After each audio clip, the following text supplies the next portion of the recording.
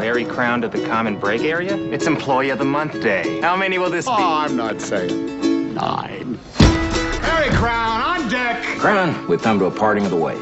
This sounds like you're firing me. They said it's because I didn't go to college. Get you some knowledge and you'll be fireproof. Can you get this hunk of junk working? How fast does it go?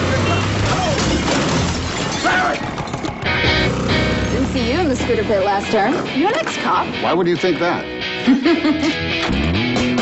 This is it? Nine. Excuse me, the state requires a minimum of 10 students, so this class is canceled. Thanks. Is this speech 217? Each of you will tell us how to do something you already know how to do. French toast. Next. I gotta take this. I wonder if I make any difference to anyone sitting in my classroom. Look up at your audience. Start on one side, looking into the eyes of whoever's there. Hello.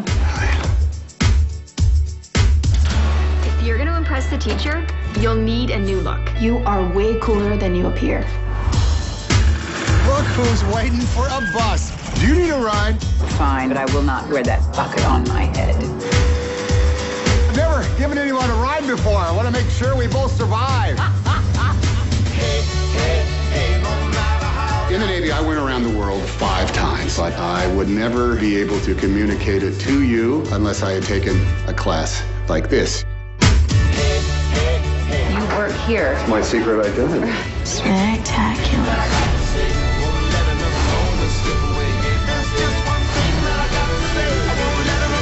Would you like to kiss me? You are so cute. I can see you.